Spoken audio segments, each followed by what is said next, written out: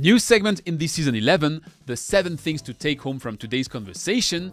For the ones that don't have a paper and a pen with them during the interview, that's my way to share you my notes. And narrowing the insights shared by Julie to just 7 was a challenge, but hey, it's the rule I set, so here we go, starting with number 1, focus on market needs and testing hypotheses. Aclarity's approach to developing and pivoting its technology is fully based on market feedback and rapid prototyping. Indeed, Julie emphasizes the importance of listening to the market, building and adapting hypotheses, and adjusting based on customer feedback. A great example of that is how Aclarity pivoted from a B2C focus in point of entry or point of use applications to tackling PFAS in landfill leachate in a pragmatic approach linked to economic realities. Let's see, 2021, we probably decided to make the change to focus exclusively on PFAS. We had a couple of other projects too, I guess, so maybe not exclusively, but now we're very exclusive on PFAS. But I would say 2021 was the kind of the, the turning point on PFAS. Number two, innovate in niche markets before expanding. Once that pivot done, Aclarity strive to nail its niche. We develop and deploy proprietary systems that destroy PFAS and liquid waste. We focus mostly on destroying PFAS where it is found, you know, in, in a decent concentration, decent bulk concentration, we've found that destroying PFAS in landfill leachate is a really good place to start. Almost 50% of PFAS that's manufactured ends up in a landfill, in the trash. And these landfills are under a lot of scrutiny right now. From this focus on PFAS destruction in landfill leachate, Aclarity now considers expanding into broader applications. And that's only possible because of their strong foothold in that first vertical, which allows for in-depth understanding, customer references and testimonials that will enable scaling and exploring additional applications. Number 3. Customer-driven development. Now you may wonder, where did that landfill leachate niche actually come from? Well, Aclarity has only recently hired a specific salesperson.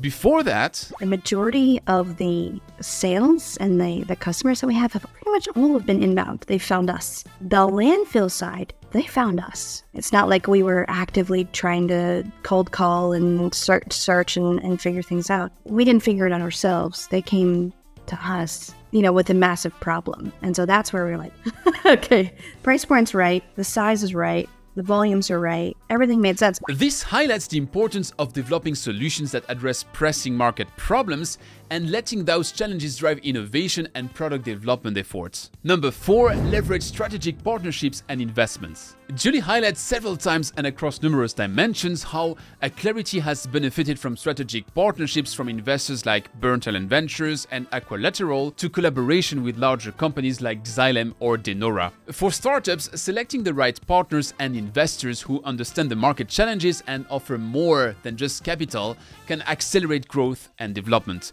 In hindsight, though Julie had a cheat code to rule many potential partners out, they had to know what PFAS are. Bonus in this one, sometimes the one to know is not the one you'd expect. Said differently, even giants sometimes need startups to show them the way. Mm, it's been maybe surprising, maybe not surprising to me, just very honestly, that of all of the channel partners that we work with, Xylem and Nora and many others, they look to us to kind of tell them where they should be operating and how they should be operating. Number 5. Preparation for regulatory compliance. Talking of the PFAS challenge, the anticipation and preparation for future regulatory changes, such as those currently cooked by the US EPA on treatment and disposal, underscore the importance of startups being proactive in compliance and regulatory matters. The big one that all of the landfills are looking out for. And most of the industries that we operate in, even outside of landfills, is in the Clean Water Act. And that's what basically gives states the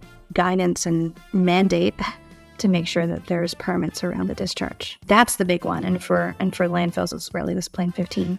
This forward-looking approach ensures readiness to adapt and capitalize on regulatory shifts. And come on, we know how regulation is a driver in the water sector. Number six, strategic hiring and team building. One of Julie's first hires when building Aclarity's team was a chief science officer even though she was the brain behind the company's first patent and original science. It was a no-brainer to to get Oren on, on board.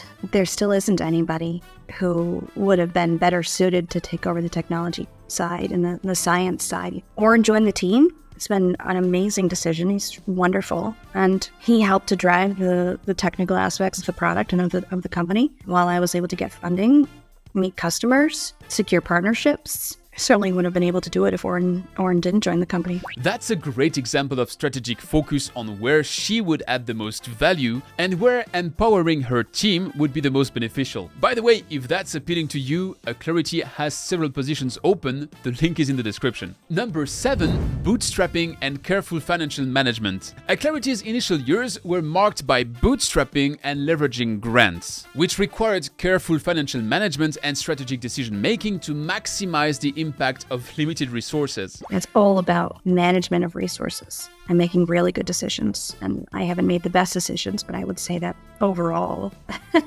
relatively proud of the decisions we've been able to make and the progress we made with such small resources. This, stra this strategy allowed Aclarity to reach significant milestones without diluting equity prematurely and ensured they had the rubber on the ground and ready for acceleration when the time for that had come. As I said, I could have taken more, but I think 7 is a good chunk to go out and apply, so here you have it. If you think I've one that's even more important than those 7, come tell me on LinkedIn or by mail.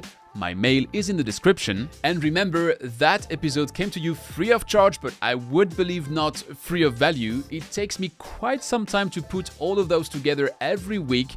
So all I'm asking is for you to help me distribute them. So take this episode, share it with a friend, a colleague, your boss, or your team, and I'll be back with another one next week.